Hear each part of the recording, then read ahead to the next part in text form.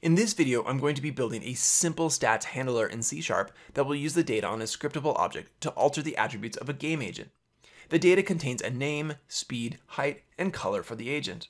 If you missed the earlier video on creating the scriptable object template, check the link in the top right or in the video description below. So let's get started.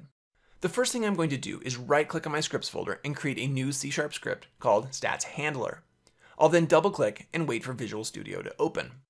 Once Visual Studio is open, I'll add the library unityengine.ai to access the navmesh types.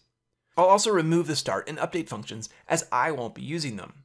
With that done, I'm going to add a private variable of type agentStats and call it stats. This will hold a reference to the scriptable object. Now in my use case, there's no need for the scriptable object to be public, but I do want to be able to access the variable in the inspector. So I'll add the attribute serializedField so the variable can be seen and used in the inspector. With this done, I can save the file and go back to Unity.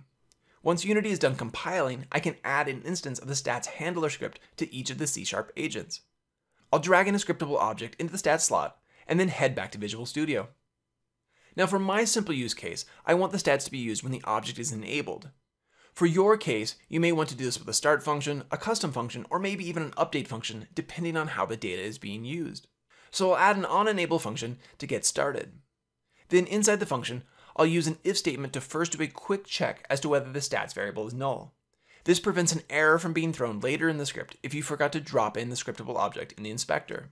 If the stats is not null, then I'll use the data in the scriptable object to update the agent's attributes.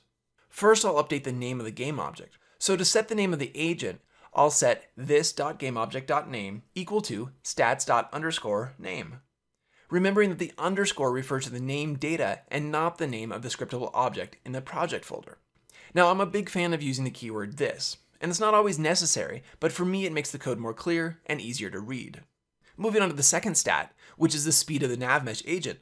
I'll set this by getting the navmesh agent that is attached to the game object. Now, often when I'm coding in C Sharp, I'll cache the components that I'm using for later use. But in the case of the navmesh agent, I'm only accessing it once. So I'm going to modify the speed on the same line as getting the component, and I won't cache the reference. The get component command provides a reference to the navmesh agent, so adding a dot .speed after it will allow me to set the speed equal to stats.speed. By now, hopefully the pattern of what I'm doing is becoming clear, or at least clearer. In general, accessing the data on a scriptable object is fairly straightforward. So moving on, the next thing I want to adjust is the height or the scale of the y-axis of the agent. I'll do this by setting this.transform.localScale equal to a new vector 3. I'll set the x and z components of the new vector 3 to 1, and I'll use stats.height to set the y component. The last piece to change is the color or material of the object. This is done on the mesh renderer component. So just like with the navmesh agent, I'm not going to cache a reference to the mesh renderer. I'm going to set the value of the material on the same line as getting the component. Now when doing this, you may notice that there are a couple similar options, a dot material and dot materials. The singular option references the first material, while the plural option references the entire array of materials. Since my object only has one material, I want the singular option, and I'll set it equal to stats.color. With this done, I'm going to save the file, go back to Unity, and give it a little bit of time to compile. Then on the second agent, I'm going to make sure I have the second copy of the scriptable object so that each C-sharp agent has a different data set. I can then press play and see the results. The agents have adjusted their appearance based on the data. The agent's name, height, and color have all changed. If I open the navmesh agent component, you can see that the speeds have also been adjusted. Now there's one more piece that I showed in the previous video when I created the scriptable object template, and that would be a random wander script. I created one in C Sharp and another in Bolt. Those scripts don't make use of the scriptable object or directly access the data on them. But if you'd like to see a video showing how to create a simple random wander effect, then let me know in the comments below and I'll see what I can do. So with that, I hope you enjoyed the video or better yet found it useful.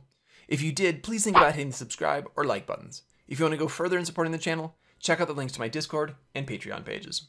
So until next time, happy game designing.